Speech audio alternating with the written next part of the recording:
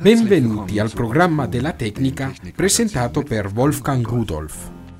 Il primo strumento che le voglio presentare è il PCE HT71. Come può osservare, si tratta di uno strumento piccolo.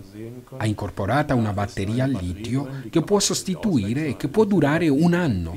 Ciò dipenderà dalla frequenza di utilizzo. Dispone di una memoria EEPROM, vale a dire che se la pila scarica o viene sostituita non si perdono i dati registrati. Posso registrare fino a 16.000 gruppi di dati.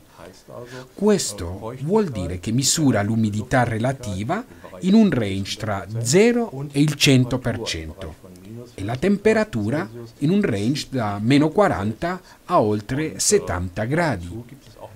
Dispone anche di data e ora, con una precisione di più o meno 3 secondi al mese. E tutto ciò si può assegnare ad un gruppo di dati. Bene, normalmente questo strumento si imposta dal computer.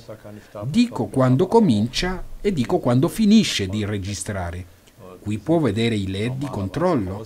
Normalmente sono disattivati per risparmiare energia. Con questo tasto si utilizza questo apparecchio integrato, anche se ovviamente è molto più comodo effettuare le impostazioni tramite computer. Adesso collego lo strumento al PC. Il software contenuto in un CD l'ho già installato. Il mio PC ha riconosciuto il dispositivo. Il software è già attivato. Se scarico e leggo i dati, come può osservare, ecco come si vede. Ho diversi parametri. Ho qui la linea rossa questa è la temperatura. Ho anche l'umidità relativa. Questa è la linea gialla. Come può notare è aumentata gradualmente. Vedo anche il punto di rugiada. Questo si calcola perché non si può misurare come tale. Il calcolo lo fa il software. Lo vede qui con la linea verde. E qui sotto abbiamo data e ora, che ho già menzionato prima.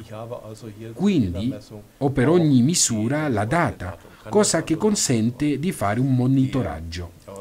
Posso impostare la frequenza di campionamento da 2 secondi fino a 24 ore, cioè una misura ogni giorno o una ogni 2 secondi o in qualsiasi altro tempo intermedio.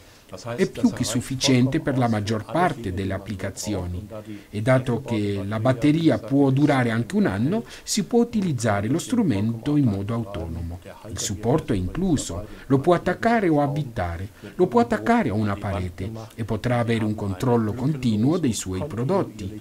Non importa se si tratta di alimenti o di qualsiasi altro materiale che richieda condizioni ambientali specifiche se le condizioni di stoccaggio non sono quelle idonee e lo si rileva per tempo, si possono prendere le necessarie contromisure.